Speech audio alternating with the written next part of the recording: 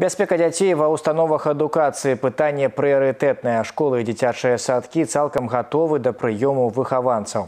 Каля асобных устаноў завяршаецца нанясенне дарожнай разметкі. Адпаведныя патрабаванні ўключаюць абавязковы надпіс школа. На некаторых вуліцах даі звярнула ўвагу на неабходнасць абнавіць малюнак пешаходных пераходаў. Нашы карэспандэнты праверылі ход выканання работ.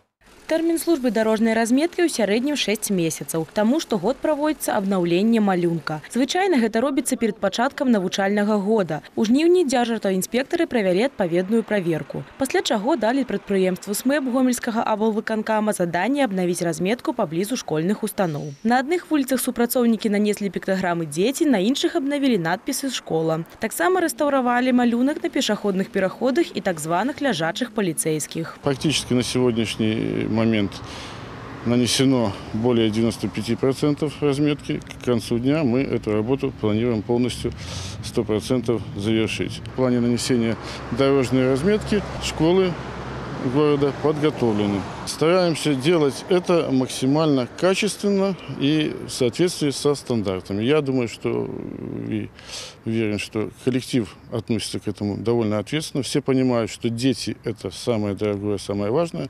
Поэтому эта работа, по моему мнению, сделана качественно, ну и самое главное – своевременно. До пачатку новага навучальнага года ў Беларусі традыцыйна праходзіць акцыя «Увага, дзеці». До 4 верасня ў дзённы час сутак рух павінен ажыццяўляцца з уключаным блізкім святлом фар або дзённымі хадавымі агнямі. За невыкананне гэтага патрабавання прадугледжана адміністрацыйная адказнасць, папярэджання або штраф да дзвюх базавых велічынь. Падчас правядзення спецыяльных комплексных мерапрыемстваў супрацоўнікі даі будуць несці службу каля навучальных устаноў і кантраляваць бяспечную перавозку непаўналетніх пассажиров. В рамках данного мероприятия будет проходить профилактическая акция «Безопасная дорога в школу».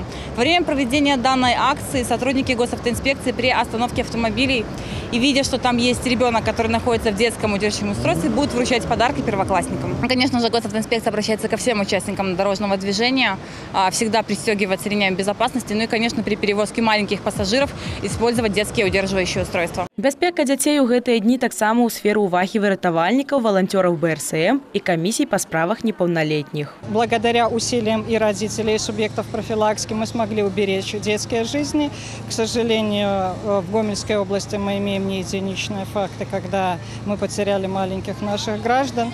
И зачастую за каждой гибелью стоит где-то доля вины родителей. Их беспечность, их невнимание. А по сути дела, беда – это цена одного мгновения. Усе адказныя службы заклікаюць бацькоў, а таксама старэйшых братоў і сясцёр далучыцца да навучання дзяцей правілам бяспечных паводзінаў. І вядома, ні ў якім выпадку не пакідаць малых без нагляду. Вераніка Гамзюкова, Андрэй Іваноў, Ігар Марышчанка, тэлерадыёкампанія Гомель.